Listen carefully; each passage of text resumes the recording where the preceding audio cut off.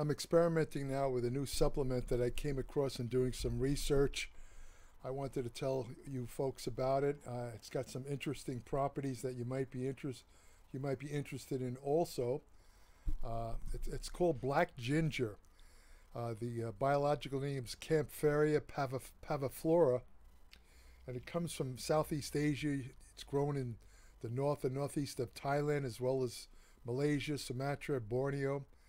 It's a deep purple color. That's why they call it black ginger. And as the name implies, it's a member of the ginger family. Ginger is a very healthy herb, often used for motion sickness. It has a lot of properties, anti-cancer properties. And black ginger is actually more potent than regular ginger, especially when it comes to antioxidant effects. And uh, when I, I'll just go over a little bit some of the qualities associated with black ginger, but keep in mind that unfortunately, like a lot of the other uh, substances I've, I've uh, discussed recently in some of the in these videos, most of the research emanates from animal and in vitro or isolated cell studies, which again doesn't mean that it doesn't apply to humans, but there's no definitive evidence for uh, a lot of these effects. They probably do occur. Uh, you know, the the uh, the mechanisms are plausible, but you know, there, it, it, there isn't a lot of evidence, human evidence, for the simple reason that black ginger is a natural substance, and to prove that it works in humans would require human studies that would cost millions of dollars that no drug company eh, would be willing to spend because they can't patent this stuff. So, in other words, it's not going to do them any good. So they as the you know so the point is that the fact that there's not a lot of human evidence doesn't mean this stuff doesn't work. It's just that nobody wants to pay for the research. There have been some human studies, however, uh, with black ginger. Now, what does it do? Now, when it comes to cancer, uh, it tends to cause cancer cells to destroy themselves, a process called apoptosis. Uh, you know that uh, that's uh, when the uh, tumor cells detects that it's a unregulated cell growth, it initiates a program, a process that results in the destruction of the tumor cell. Uh, it also promotes autophagy, which is a clearance of old, worn out cells of the body related to aging. It has anti inflammatory effects. It inhibits the release of pro inflammatory cytokines. Uh, for example, tissue, tissue necrosis factor A, uh, pro-inflammatory kind of uh, cytokines are proteins released by the immune system that can play a role in wound healing and in uh, and beneficial inflammation. But when they're uh, when they're released in excess, they uh, cause a lot of cell damage. In fact, one of the main uh, problems with COVID-19 was what they call cytokine storm, where these inflammatory cytokines were released in an out of control fashion that tended to attack the lung tissue, caused many people to have to be put in respirators. The uh, uh, it also uh, black ginger inhibits the gene expression of nitric oxide. Now, nitric oxide is normally a good thing. It dilates the blood vessels, uh, increases blood circulation, lowers blood pressure. But uh, nitric oxide, sometimes uh, in excess, it can actually act as a pro-oxidant and cause cellular damage. Uh, black ginger inhibits cell senescence. Uh, a cell replicates about 50 times.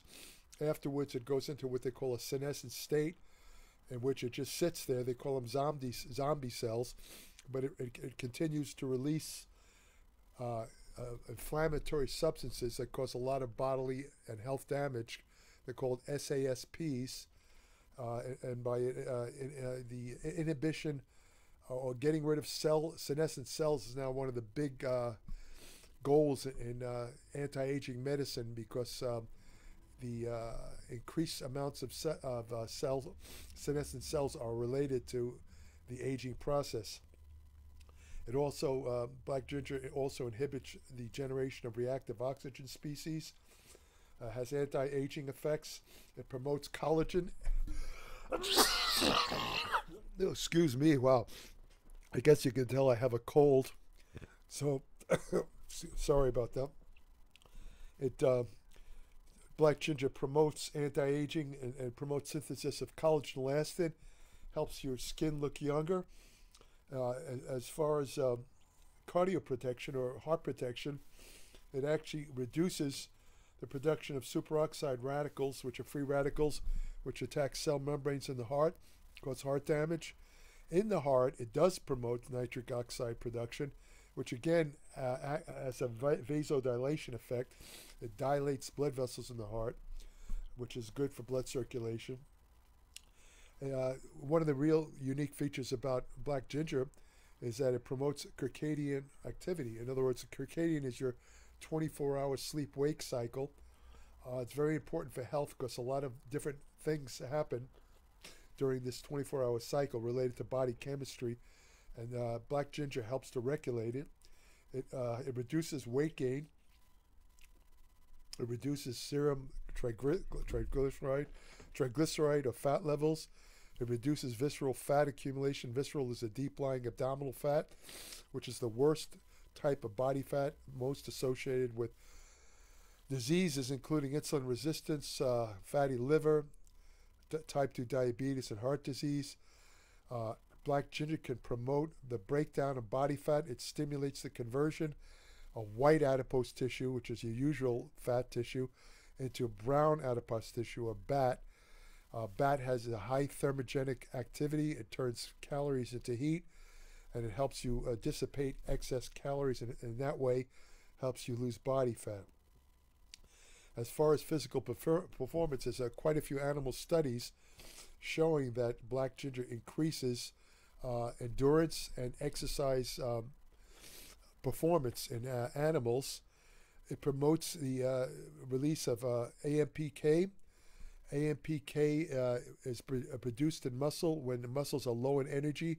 For example, when your glycogen levels go down, when your muscles are low, and ATP, uh, AMPK is produced. AMPK switches the use in muscle from using sugar or carbohydrate to using fat as a source of energy. So it's uh, you know again very good for uh, fat loss and endurance. Uh, it also promotes a anabolic uh, pathway in muscle called the AKT pathway. Uh, I, I, mentioned how it activates brown adipose tissue. Uh, the black ginger promotes mitochondrial biogenesis. The mitochondria are portions of the cell where fat is burned in the process called fat oxid, uh, beta oxidation, and where energy is produced in the form of ATP. So, in that sense, uh, uh, black ginger can promote energy uh, production. Uh, what's the active ingredients in black ginger? The main, uh, it's a group of uh, substances called polymethoxyflavones, which are pretty unique to uh, uh, black ginger. Black ginger also contains a number of phenol, phenolic compounds it contains something called anthocyanins, which are also found in berries, such as blueberries, that are very good for your brain and your heart. It contains carotenoids like beta carotene, tocopherols, vitamin E, vitamin K1, which is good for the blood clotting, and it contains alpha linoleic acid. These are some of the active compounds. in um, also, black ginger has a uh, kind of interesting effect. Uh, there's a substance uh, produced in the kidneys. It's called SGLT, which uh, when your body, uh, when your kidneys excrete sugar, the SGLT kind of grabs onto the sugar, and it, uh, or glucose, I should say glucose, and it kicks it back in the blood. Now that's not too good if you have blood glucose problems. For example, if you're uh, insulin insensitive or you're pre-diabetic, uh, this can cause hyperglycemia, excess glucose in the blood which in turn leads to the production of advanced glycation end products in which sugar is incorporated into protein structures and aging and weakening the structures. So you want to lower the uh, excess sugar in the blood. Uh, they came out with drugs to tr- for diabetics a couple of years ago called SGLT inhibitors that basically cause you to piss out ex- all the excess sugar. So by doing that, it automatically lowers blood sugar or blood glucose, I should say, uh, to be correct. Uh, well, this stuff, uh, black ginger, has a natural effect on inhibiting SGLT. Uh, I don't I don't think it's probably as powerful as the drugs, but the fact that it's capable of doing that, and it also has extremely potent anti-glycation effects, which will again uh, you know slower the effects of aging, because uh, advanced glycation uh, products end products as they're called, or ages, they cause it, uh, tissues, especially connective tissue, to stiffen. A lot of the movement you see in older people where they're very stiff and they can hardly move, that's caused by a buildup of advanced glycation end products over the years. Uh, advanced glycation products are also associated with a lot of skin aging, wrinkles, and lines in the face. So, uh, black ginger will help to minimize the production of uh, advanced glycation end products. Uh, what about the dose?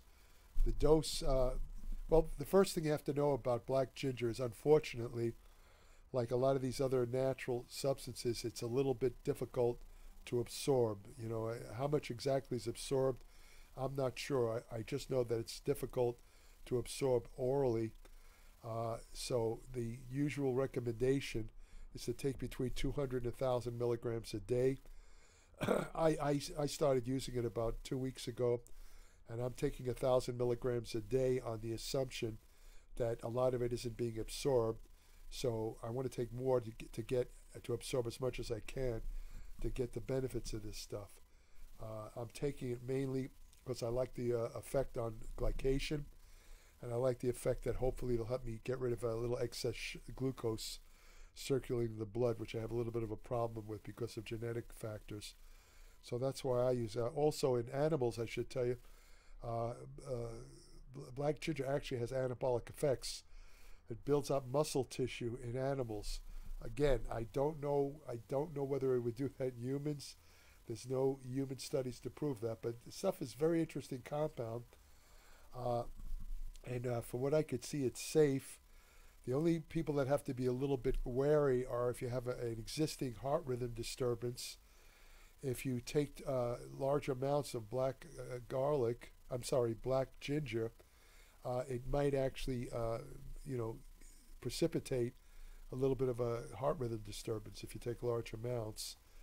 Uh, so that's the only contraindication. Otherwise, it's pretty safe stuff. So I think that's about it for uh, black ginger. Interesting compound. Um, if you want more information on nutrition, anti-aging research, exercise science, supplement science, which supplements work, which ones don't, ergogenic aids, hormone therapy, women's health and fitness, and many more topics. I cover more topics in applied metabolics than any other digital publication on the entire internet. And no other publication can match my over six decades of experience and constant study. So uh, it's at www.appliedmetabolics.com. It's about 30 to 40 pages every month. No ads, no commercials. I'm not trying to push anything, just like my videos that you're seeing here. Uh, there's no 10% off stuff. I'm not a shill for any supplement company.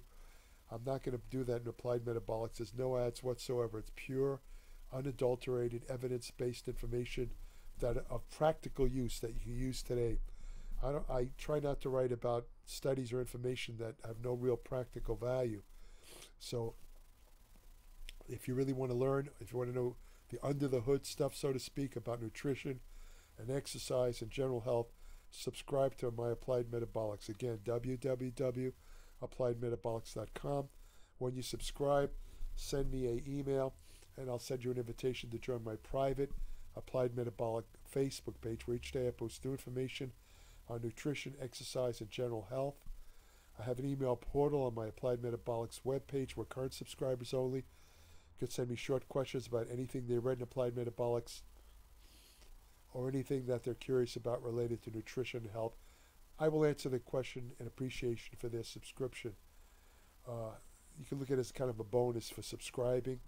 I don't know if any, I don't, as far as I know, I don't think many uh, the other people that have uh, online publications provide that service. I think I'm the only one that will answer personal questions. But anyway, uh, so again, subscribe today. Uh, please also consider to subscribing to this uh, YouTube channel. I post a new video every Tuesday. It's completely free, no charge. Please let others know about the channel. There's no frills. There's, uh, I don't have a lot of. Uh, I don't have the patience to use a lot of those video programs. Uh, my friend Rick Drasin, who I used to, uh, when we used to, I used to be on his videos or his podcasts for so, uh, many times uh, over the years. And uh, I, I could tell you, Rick had a whole video set, set up in his home. He had like three computer screens. Uh, he would spend literally hours, uh, you know, editing his videos, adding music and all this stuff. I, I'm not into that. In other words, uh, I'll be honest with you, I'm being blunt here. I, I don't earn any money from these videos. I, I mean, whatever I get from YouTube amounts to pennies. Uh, this is more like a public service, uh, and I'm just trying to give useful information and let others know about my applied metabolics. Uh, so, uh, you know, I'm not really willing to put in, you know, uh, other people have an entire staff who, you know, who do the videos, who basically produce the videos for them. Some of them have like 10, 20 people, believe it or not. It's, with me, it's only me. So I can't do that kind of stuff. So, you know, it's just plain vanilla here. But the good thing is that it's all evidence based, solid information with no BS, and it's all real. So that's about it. So, you know, feel free to subscribe to this channel. If you want to have the best friend you'll ever have, go to your local shelter and adopt a dog. Thank you for listening.